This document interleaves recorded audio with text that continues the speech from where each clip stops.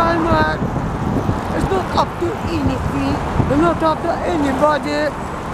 They're kill it, for picture only.